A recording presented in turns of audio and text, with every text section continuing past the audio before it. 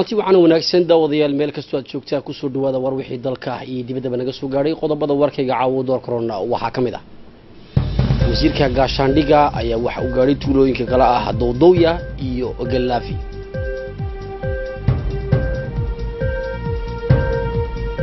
wararka caalamkana kooxda daacish ayaa lagala wareegay goobii ugu dambeeyey ee dadka suuriya ay ka haysteen bismi illaahi raxmaan raxiim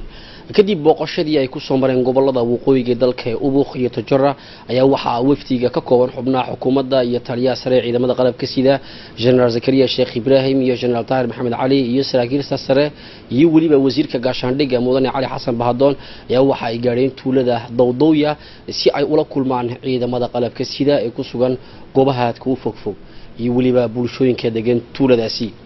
xubnaha xukuumadda ee socdaalkaasi qeybta ka ayaa waxa ay kale yihiin wasiirka guryeynta mudane muuse moxamed axmed wasiirka ganacsiga mudane xasan xumed ibraahim iyo weliba wasiirka miisaaniyadda mudane boode axmed rooble. Oo kolka ay gaadheen tuulada doodooya ayaa waxaa wafdiga si diiran u soo dhaweeyey madaxa ciidamada qalabka sida ee gobolka dikhil lieutenant colonel idris cumar ceeleye wafdiga wasiirada ayaa waxa ay la kulmeen tiro fara badan oo cuqaasha tuulada tuuladaasi weliba dhalinta tuulada doodooya oo ay ka dhageysteen codsiyadooda waxaana ay ka codsadeen ciidamada qalabka sida iyo bulshada rayidka in ay si wada jir u wada shaqeeyaan si loo sugo amniga degmadaasi.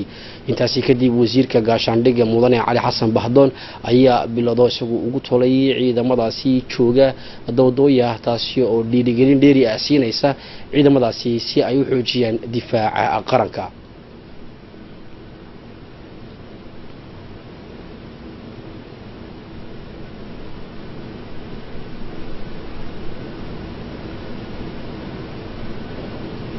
wasiirka.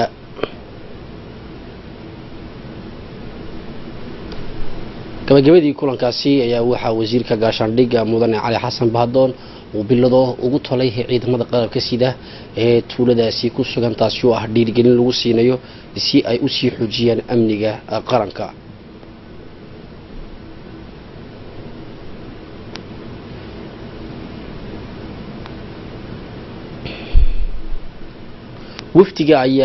tuulada dowdooya gaadhay tuulada galaafi halkaasi oo ay ku gaadheen gaadiidka hawada waxaana ay soo booqdeen dhismaha dhinaca soodinta aanu la wadaagno dalka etoobiya waxaana tuuladaasi galaafi ay ciidamada qalabka sida ciidamada booliiska iyo kuwa cashuuraadkuba ay si wada jira ugu shaqeeyaan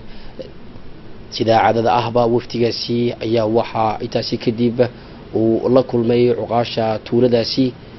waxaana u joogay brifey ku-xigeenka gobolka ka hor inta aanay la kulmin cuqaasha waxaa mas'uuliyiintaasi ay salaan sharafeed ka qaateen dhammaan cutubiyada kala duwan ee tuuladaasi ku sugnaa waxaana cuqaasha tuuladaasi ay mas'uuliyiinta kala hadleen kulankaasi kadib dhibaatada camal la'aanta ee ka jirta gobolka. Waxaana socdaalkaasi lagu soo gabagabeeyey gobolka midnimada ee dikhil halkaasi oo munaasabad aada u ballaaran loogu qabtay wafdiga. Waxaana u joogay brefeyga gobolka dikhil moxamed sheekhu xasan gudoomiyaha maamul goboleedka cabdiraxmaan yunis are madaxa ciidamada qalabka madaxa ciidamada qalabka sida ee gobolka dikhil. Ayaa waxa uu munaasabadaasi si kooban uu uga hadlay xaaladda gobolka dikhil iyo weliba ta ciidamada qalabka sida. Waxaana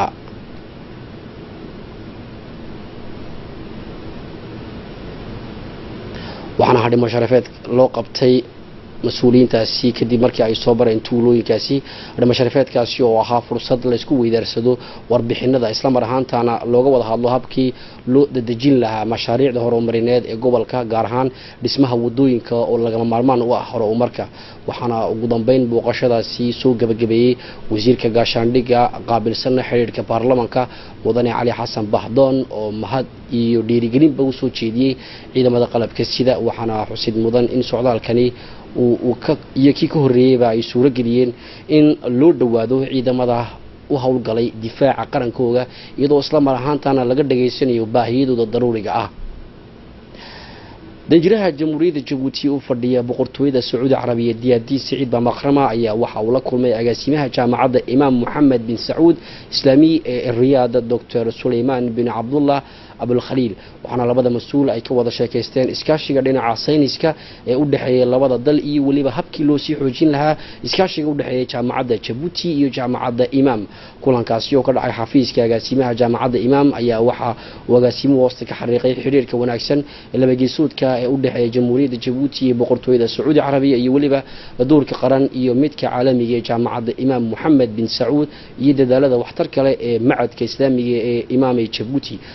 agaasimaha jaamacadda imaam ayaa sidoo kale aada u soo dhoweeyey ahamiyadda gaarka ah ee madaxweynaha jamhuuriyadda mudane ismaaciil cumar geelle uu siiyo macadka islaamiga ee jabuuti geestiisa danjiraha jamhuuriyadda jabuuti u fadhiya boqortooyada sacuudi carabiya diyaadiin siciid amakrama ayaa waxa uu carabka ku adkeeyey sii xoojinta xidhiirka labageesoodka oo isagu suurogeliya in la gaadho horumarka waara isla wararka dalka un macadka qaran ee maamulka dowladda oo si wada jir ah ula kaashaday hay'adda u z ayaa waxa uu soo afmeeray tobabar loogu talagalay tababarayaasha shirkad abuurka iyo weliba farsamada raadcinta shaqooyinka. Faatimo cadaawe oo caawa stuudioga igula sugan ayaanu qodobkaasi wax ka weydiinanaa faadumo. Habeen wanaagsan. Habeen labada maxamed oo qodobkaasi faadumoy maxay wixii lagu soo qaaday amba tababarkaasi shirkad abuurka iyay hayeen qoladaasi tababarka loo fidiyey? Aada baad u mahadsan tahay maxamedow iyadoo ay la xidhiidho tababarsiinta dhalinyarta shaqaraadiska ah si lagu fidiyo tababar iyo aqoon xirfadeed oo fiican. War sida shaqo abuur xafiiska anifib oo kaashanaysa hay'adda maraykanka u s aid ayaa soo afmartay tababar loogu talagalay tababarayaasha barnaamijka ama ka howlgasha xagga barnaamijka shaqa abuurka ee macadka qaran ee maamulka dadweynaha ee inaab oo iyadu si buuxda uga qayb qaadata xagga dhaqdhaqaaqyada dib u habeynta maamulka ee tababarsiinta intaba. Waxaana ka qaybgalayaasha tababarkaasi ay ka wada sheekaysteen dib u eegista lagu sameynayo qeybaha barnaamijyadaasi lagu talagalay shaqogelinta iyo shaqo abuurka intaba doodaasi iyo wadaxaajoodkaasi dhex martay intii tababarkaasi uu socday waxay sidoo kale ay ku soo qaadeen barnaamijyada la xidhiidha in la xoojiyo awoodna la siiyo la horumarina aqoonta iyo awoodda howlgal ee tababarayaashaasi iyaga oo kor loo qaadayo ka wacyigelinta dhalinyarta xirfadaha ka jira suuqa shaqo si dhalinyartaasi ay sida ugu habboon ay uga faa'iidaystaan fursadaha kala duwan ee suuqa ka jirta kana jawaabaan baahiyada kala duwan ee looga baahan yahay in ay goobtaasi ku soo bandhigaan. Munaasabada gabagabada waxaa uu joogay tababarkaasi agaasimaha guud ee waxbarashada farsamada ee tababarada xirfada cabdulqaadir xumed wakiilka hay'adda u s aid iyo wakiil ka socotay dhinaca xirfadaha ee anafib waxaana tababarkaasi ka faa'iidaystay tababarayaashaas korka kusoo sheegay xagga macadka inaab wakiilka u s aid oo halkaasi ka hadlay ayaa waxaa hoosta uu ka xariiqay ahamiyadda iyo qiimaha ku lamaaneyd tababarkani kuwaasi oo ay ka faa'iidaysanayeen tababarayaasha inaab si hadhow tole aqoontooda ay u gudbiyaan waxaana intaasi ku daray in geestoodana ay taageero walba ay uga baahan yihiin tababarayaashaasi ay la garab joogi doonaan si dhalinyarta beri ay fursad ay u siiyaan si ay awoodooda ay ku soo bandhigaan suuqa shaqo. Waxaana halkaasi sidoo kale ka hadlay waa agaasimaha tababarada xirfada cabdulqaadir xumed iyo wakiilka xagga xirfadda ee xafiiska anifib oo intuba ka waramay ahamiyadda tababarkani uu xambaarsanaa iyo waxyaabaha loo golleeyahay waxaana yidhahay. Agaasimaha tababarada xirfadaha cabdulqaadir xumed oo halkaasi ka hadlay ayaa hortaba hambaliyeeyay tababarayaasha kala duwan ee tababarkaasi aqoontooda ka bixinaysay isagoo sheegay in ay muujiyeen sida ay uga go-onayd in aqoontooda ay bixiyaan. Agaasimaha ayaa sheegay in tababarayaashu ay qeyb muhiima ay ka qaataan gudbinta aqoontooda iyo fariimaha wasaaradda waxbarashada waxaana ay aqoontooda ay u gudbiyaan dhalinyar tabaalaysan iyagoo oo adeegsanaya tallaabooyinka kala duwan ee wasaaraddu ay ku meel dhigtay si looga jawaabo kor u qaadida aqoontooda iyo xirfadaha kala duwan si beri ay loo yimaadiin shaqa abuur waxtar leh. Tababarkani ay ka faa'iidaysanayaan tababarayaashu ayaa ahaa mid lagu doonayo in dhalinyarta shaqaraadiska ah ay u helaan fursad lagu siinayo ama lagu soo bandhigayo tababaro iyo xirfado kala duwan oo u suurta gelinaysaa in shaqo ay iskood u abuurtaan. Tababarkani ay isla kaashadeen xafiiska nifib iyo usaid ayaa ah mid lagu biirinayo barnaamijyada kala duwan ee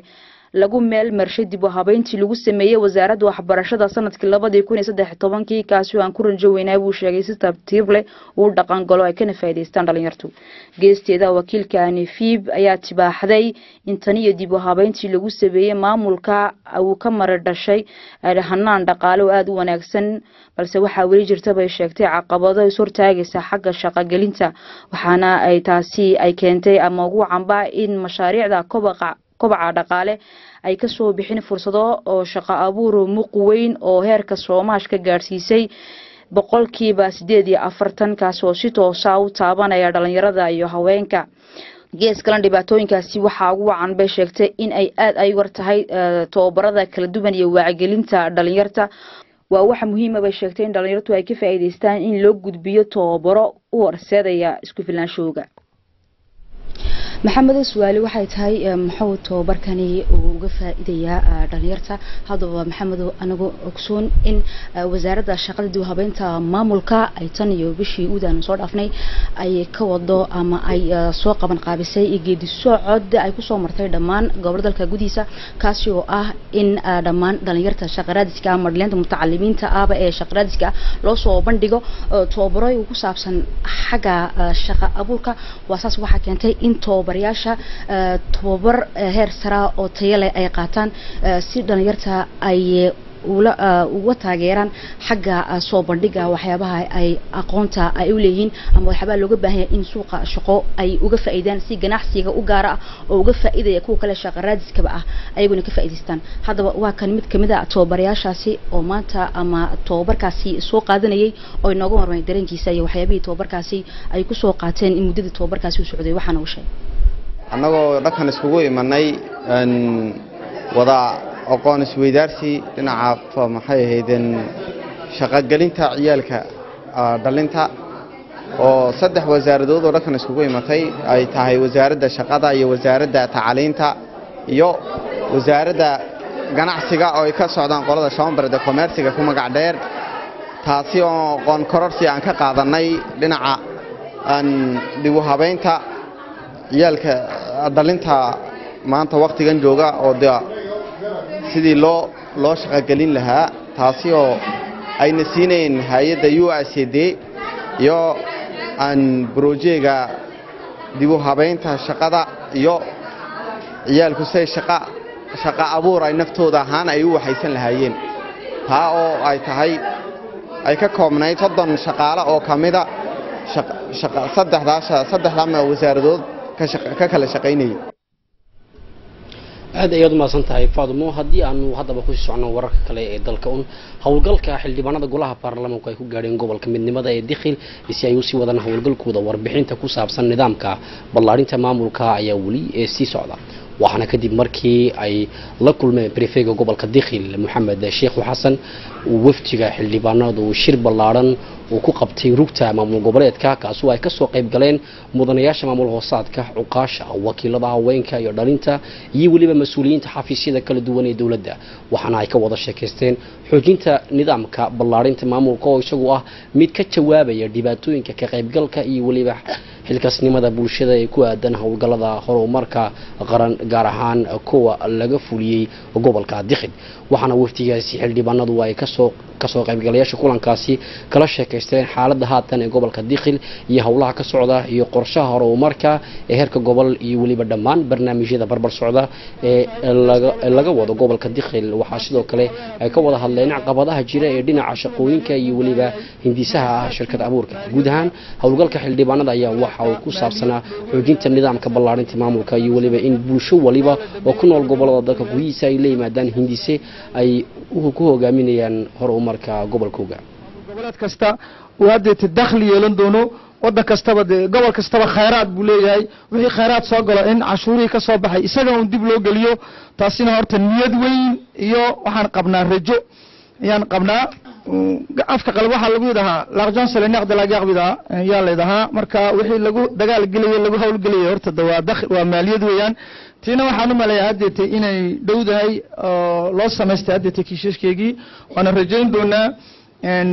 waxaan jeclahay inaan kolley hadalka waana nasiin walaalahay xildhibaanadii xaggan saaka way dhan yihiin. Dikhil waxay dee baahi tabanaysay intaa in ahayn oo sheegi karayso aniga lama malayso waa lagu wala dhan yahay xaggan. Waxaan leeyahay dee shirkii ha noo furmo. Eh, iyo wax isweydaarsi fiican baan leeyahay madaxa wafdigaasi xildhibaanada oo kulanka khudbad ka jeediyey ayaa waxa uu sheegay in kulankani uu yahay mid lagu wada sheekeysanayo islamar ahaantaana lagu qiimeynayo xaalada nidaamka ballaarinta maamulka ee gobolka dikhil. Waxaanan ognahay buu yidhi in nidaamka ballaarinta maamulka uu noqon karo mid aada u dheer waayo waxa uu u baahan yahay buu yidhi maalgashi iyo dadkii hirgelin lahaa iyo weliba xoojinta awoodda mudanayaasha maamul hooseedka waxaana kulankani aanu idinku soo bandhigi doonaa xeerka dastuurka oo ka soo qaybgalayaasha daaha uga qaadi doona xeerka iyo dhegalayda ku wajahan ballaarinta maamulka iyo weliba hawsha iyo doorka uu ku leeyahay xafiiska maamul goboleedka iyo ta ku saabsan maamulka dhexe. Waxaana um, nidaamkani uu noo asmixi doonaa buu yidhi in laysku dheeli tiro ka qaybgalka oo qof waliba uu ka faa'iidaysan doono. Intaasi kadib waxaanu waraysi la yeelanay mid ka mid ah xildhibaanada wafdigaasi oo aanu wax ka weydiinay faa'iidada socdaalkani uu xambaarsan yahay waxaana yidhi bismi illahi raxmaan raxiim maanta waxaan bilownay soc- socdaalkii xildhibaanada gobolka dakhil oo halkan ka bilaabnay saaka subaxdiiba. Oon ku horeynay brefectuurkii oo si fiican noo soo dhaweeyey mahadnaq baan u jeedinaa maxamed sheekho. Kadibna cabdiraxmaan yunusufa maxaa ahay soo dhaweeyey marka kadibna waxaan isku walamanay society civiilkii shicibkii iyo shaqaalihii gobolka oo dhan iyo brefegii presidentk conseil waxaa noo bilaabnay iminka wax isku sidee noqonaysaa laga sugayo ragga decentralisation laga sugayo een, awoodda la siiyey ee ee maxaa ahay shaqa intee leekan doontaa macnaha dheer inaan shicibkii u macnayno. Anakoo wadana maantay khabiiradii assemblyga national. Anakoo wadana khabiiradii. Khabiiradii macno badan bay siiyeen. Shicibkii waxaana ka sugaynaa halkaas inay ka soo baxdo. Isfahan ballaaran oo maamul goboleedkii ah iyo xildhibaanadii gobolka iyo shicibkiiba. Isfahankaasi inuu si fiican loo wada oo si fiican shaqada gobolka ay u bilaabanto oo gobolkuna bijeegiisii iyo horumarkii gobolkaba wixii laisla fahansan yahay si fiican u dhacdo. Een, taas maanta socdaalka waa taawen insha allah gobolkan waxaan rajeynaya inuu horumar gaadho sida gobolka kaba fiican gobolkan waa gobol fiican horumar fiican baan rajeynaya. Dhaqaalo fiican waa isku jiraa dhaqaalaha fiican in fahno oon la soo baxno oon dhexdeeda isfahansino oon dhexdeeda maarata horumarkan ka gaadhna rajeynaya insha allah wafdi ay horkacayso xogeyaha guud ee ururka qaran ee haweenka jabuuti marwe faatuma muuse cabdi ayaa gaadhay gobolka ubuq waxaana wafdigaasi uu ka koobnaa haweenka xildhibaanada oo ay ka mid ahaayeen xasna xumed bilil iyo naciima bulxan iyo weliba agaasimaha arrimaha bulshada ee xogeynta dowladda ee arrimaha bulshada. Moxamed cawaale booqashadani ayaa waxa ay daba socotaa socdaalkii lagu soo maray gobollada koonfurta taasoo la xidhiidha wacyigelinta bulshada xarun goboleedyada gobollada dalka gudihiisa ee ku saabsan la dagaalanka xanuunka viyashida iyo weliba ka hortega takooridda dadka la nool xarunkaasi booqashadani ayaa waxaa sidoo kale ujeedada ka dambeysa ay tahay la kulanka haweenka gobolka si looga wacyigeliyo adeegyada si loogu wacyigeliyo adeegyada xafiiska bulsho uu fuliyo iyo weliba madax banaanida haweenka waxaana kulankaasi u joogay gudoomiyaha maamul goboleedka iyo haween tiro fara badan oo tiradoodu ay dhan tahay konton oo ay gabdho ka mid ahaayeen.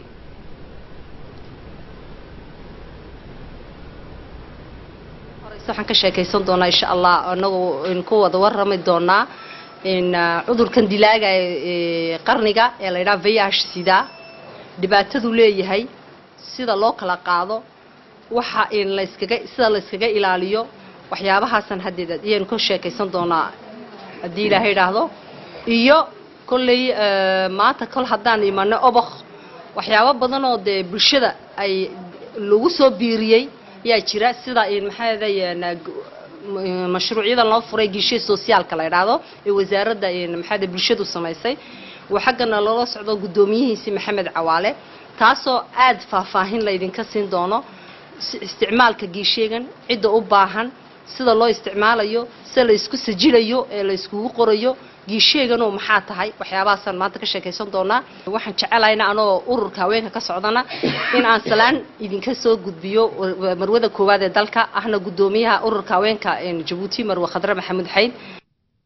iyadoo qayb ka ah isbedelada caalamiga ayaa waxay jamhuuriyadda jabuuti weli ku siraad joogtaa dhaqankeeda iyo qiimaheega oo ay ka mid yihiin soo dhoweynta martigelinta geesnimada iyo weliba dulqaadka oo sal u ah caadooyinka shicib weynaha reer jabuuti sidaasi daraaddeed ayaa waxay labaataniyo dhalinyaro ah oo ka soo jeeda tuulada randa ee ka tirsan gobolka tojora ay shalay soo gaadheen magaala madaxda waxaana ay joogi doonaan muddo laba maalimood oo ay kulamo la yeelan doonaan walaalahooga kale ee magaala madaxda. Markii ay soo gaadheen magaala madaxda ayaa waxa ay isla kulkiiba u gudagaleen barnaamijkooda hore loo meelmariyey ee ku saabsan booqashada ay ku gaadhayaan qaar ka mid a xarumaha horumarinta bulsho ee kale ah xarunta horumarinta bulsho ee xaafadda toddobaad iyo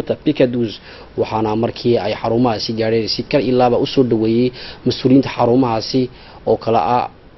korosha cali gidi iyo cabdalla taaha geestooda dhalinta tuulada randa oo ay weheliyaan mas'uuliyiintooda ayaa waxa ay ka qayb qaateen kulamo kuwaasi oo la xidhiidha iskaashiga labageesoodka ee u dhexeeya xarunta horumarinta bulsho ee tuulada randa iyo xarumaha kale waxaana tani ay qayb ka tahay siyaasadda xogeynta dhalinta iyo ciyaaraha ee ku saabsan horumarinta dhalinta hindisahani ayaa waxa uu kor u soo qaadaya dareenka wadannimo ee dhalinta isagoo weliba u suuragelinaya in ay isweydaarsadaan afkaartooda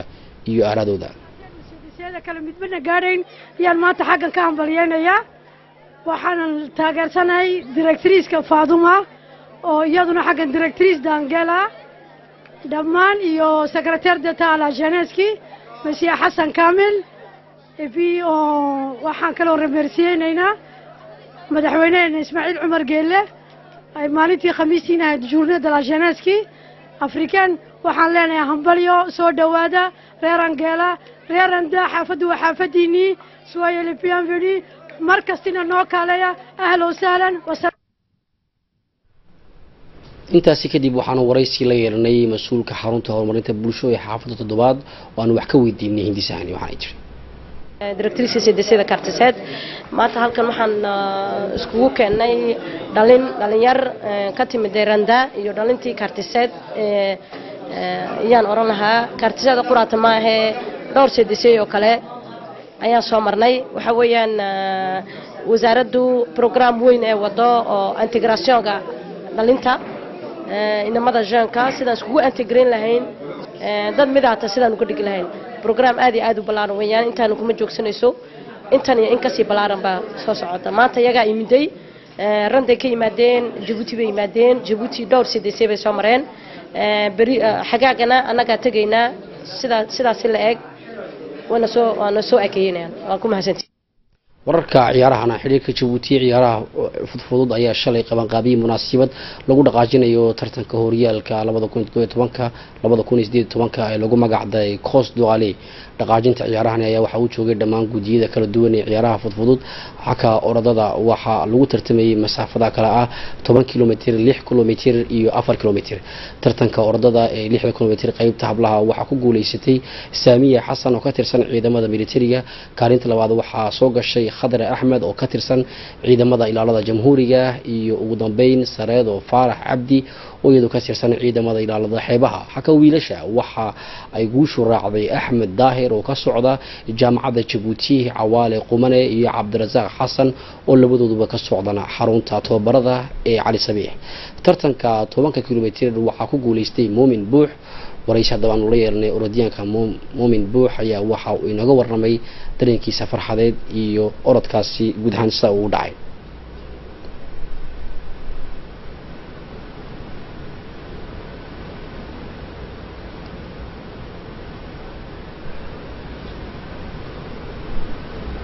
Waxaana gabagabadii tartankaasi ka soo qaybgalayaasha guuleystay la guddoonsiiyey hadiyado bilado ay bilado ay ka mid hayeen iyo weliba kuwabka waxaana u joogay munaasabada gabagabada dhammaan mas'uuliyiinta xiriirka orodada fudfudud. Tismiga ayaan maanta xaggan ka furnay. Orodka oo ka kooban orodada maanta oo ka koobnaa orod gabdho oo afar kilomitira oo vramo gabdho si fiican u caymaday oo si fiican u dhacday orodada hablaha oo aad aan ku faraxsanahay dhammaan hablaha soontka ka yimid cali sabiix oo si fiican orodka u caymaday waxaa ku xiga orod kale oo dhammaan dhalinta kaadiga la dhaayo lix kilomitira kuwa kaadiga oo sanadba sanadka dambe ka sii firfircoon iyaguna orodkaana si fiican ba u caymadeen orodka ugu dambeyn ku xidhnay dii kilomitr ku ahaa ay ordayeen dhammaan wixii orodyahana weli kuwa toonyo khatara samaynteeda lixdii jus olympiga intii ka qabtay monde intii ka qabtay ka reeb ma intii kale dhan way wala caymadeen wallahi orodka si fiican buu caymadeen ninka maanta ku guulaysan roble si fiican buu caymaday mumim roble waa maalinkii labaad maaratan premier baxay dikilooga runtii waxaan ka imanay ahayd equipe nationalka ayaan ku jiray ahayd addis ababa ayaan ka niminay ahayd. Repo ayaan dib u galay haddana shaqada dib baan bilownay kolleyda atleed haddaan nahay shaqada dhulka ma dhigno. Inkastoo maaratan nala dul joogo oo nala eegayo oo nala garab joogo maaratan salaan waxaa iskale maaratan madaxweynahayna la republique marwadiisa. Jarnaalkeena jarnaal zakariya aan salaamaya xiriirka jabuuti ee dabaasha ayaa waxa uu qabanqaabiyey furitaanka horyaalka qaran ee dabaasha oo laga furay gobolka tojora maalintanii koowaad ee horyaalka ayaa waxaa ka soo qayb galay dhalin fara badan oo qaar ka mid ay ahaayeen arday ka socota dugsiyada waxbarasho ee asaasiga ee gobolka tojora waana markii koowaad ee tartan qaran ay ka qayb qaataan. Waxaa sidoo kale ka soo qayb galay wiil daryar ah oo isagu ka socda gobolka ubuk oo lagu magacaabay xuseen gaabir ibraahim oo isagu ku xeel dheer tartanka dabaasha horena u bediyey horumarka ciyaartani ayaa ah mid ay ka wada midaysan yihiin dhalinta gobollada waqooyiga qabanqaabada maalintani ayaa si habsame lagu qabsoontay iyadoo dadweynaha gobolka tojorana ay ka soo qayb galeen.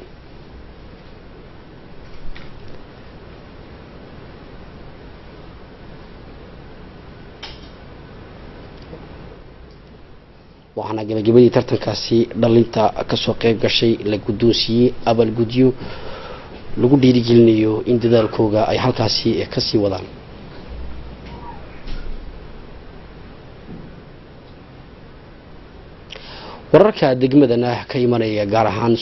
ayaa waxaa madaxweynaha jamhuuriyadda federaalk soomaaliya maxamed cabdulaahi maxamed farmaajo u qabtay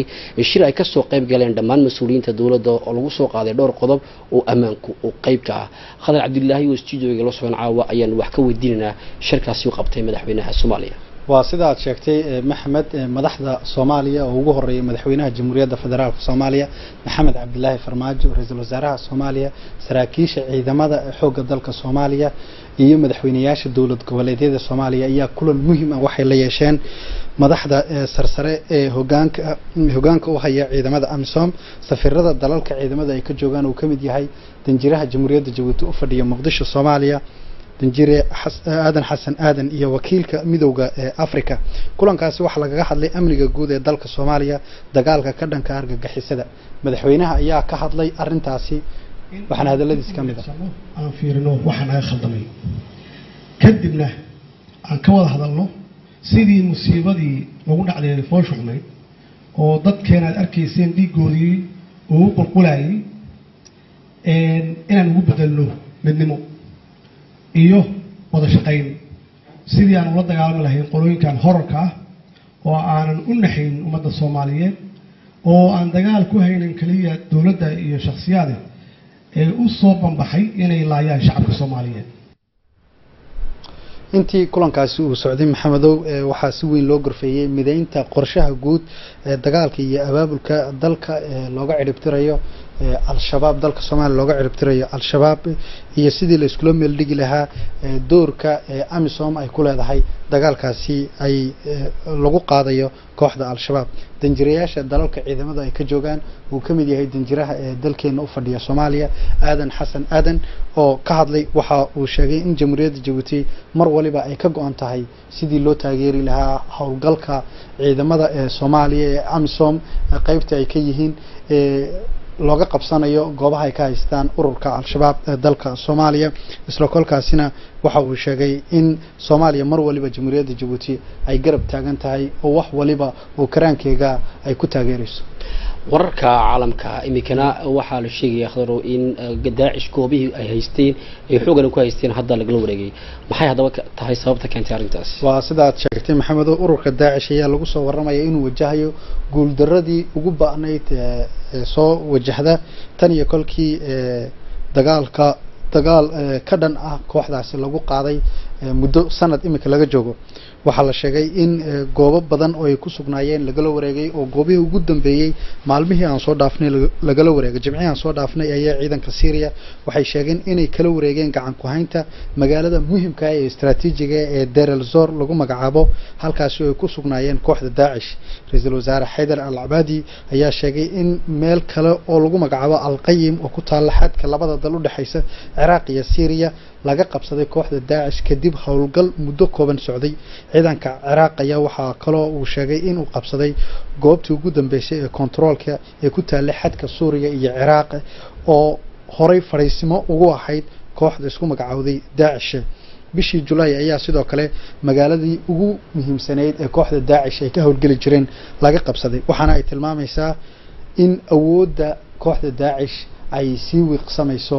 oo wadamada ciraaq iyo syria ay ku guuleysteen dagaalka ka dhanka kooxda daacish aad ayaad umahadsan tahay daawadayaal waa naga intaa war wixii dalkii dibadba naga soo gaadhay caawa warkanna waxaa sii wada jira igala qayb qaatay waa khadir cabdilaahi faadmo cadaawa warkan kula mid ah intaanu ku kulmi doono waxaan ku dhaafeynaa habeen wanaagsan